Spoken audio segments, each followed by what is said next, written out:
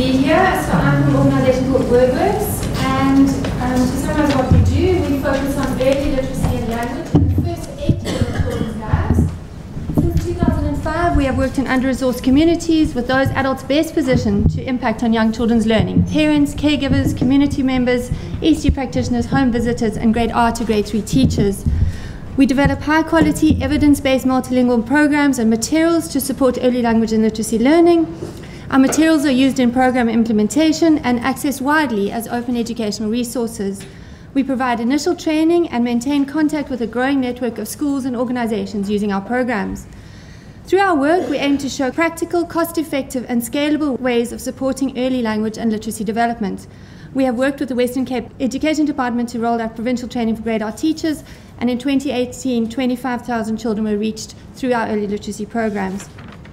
The three most important things that lead to success or failure in our programs the success and integrity of our work comes from building respectful relationships with those that implement and benefit from our programs.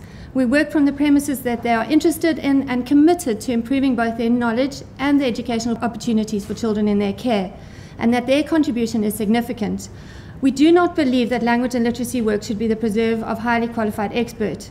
We bring content and ideas that are evidence based but nevertheless accessible, meaningful, and easily taken up.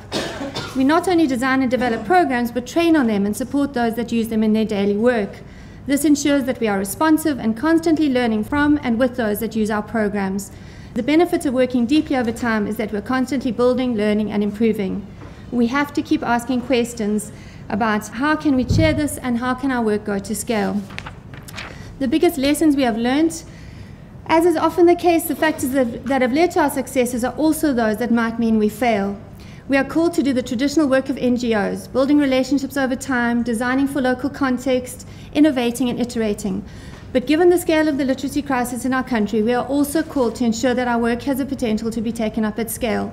This is not an easy balance to hold. Given the limited research on early language and literacy in our country, and until recently a lack of research on learning to read and, write in African languages, we have also been called to be content specialists and play a thought leadership role. We believe that straddling implementation, program design, and advocacy places us in a fairly strong and unique position. However, the demands on a smaller organization can be overwhelming. We know that there's a growing network of NGOs that are working to support early language and literacy in the birth to five space. Together, we are learning what works, and there's huge potential for this work to grow. There is a need to share learning and to look carefully at how lessons at a local level can inform programs at scale.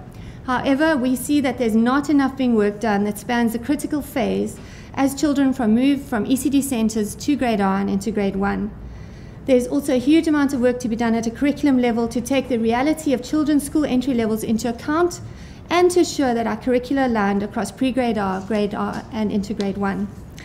We believe that another critical gap in the NGO sector, but also in policy, is a focus on understanding and addressing the needs of teachers, families, and children in multilingual context.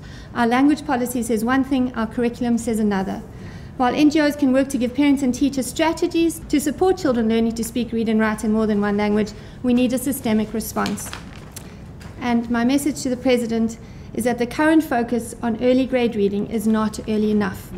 To date, all of the large scale systemic literacy interventions have begun in grade one, even though children do not begin learning to read in grade one.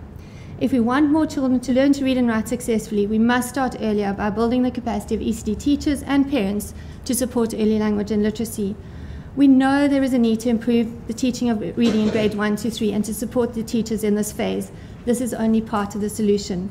The majority of our children miss out on vital early learning opportunities from birth to six years, and the achievement gap is entrenched from the earliest years.